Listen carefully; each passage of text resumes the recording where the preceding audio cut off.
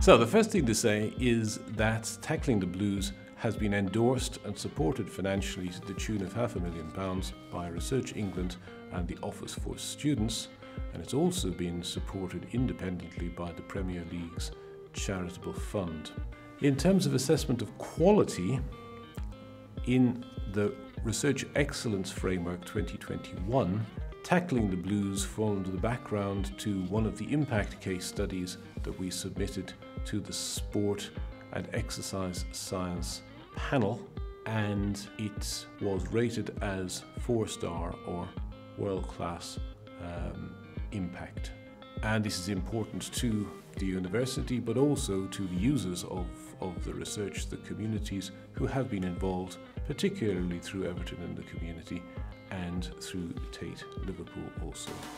Well, we've learned a number of different things really. Uh, we've started off from the position of researchers working in the department dealing with uh, the literature in their own areas of research and going out and talking to partners in the form of Tate Liverpool and Everton in the community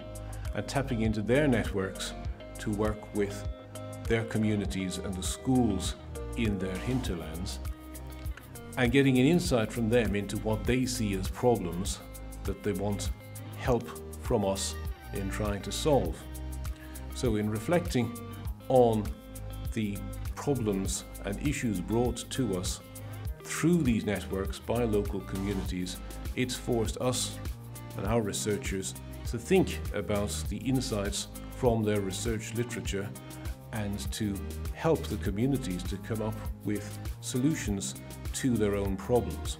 And that's been a liberating thing for the communities, but also for the researchers who have now got a far broader conception of the research that they're engaged in and have opened up their minds to thinking about other partnerships, perhaps partnerships further away in other parts of the country or indeed in other countries as well,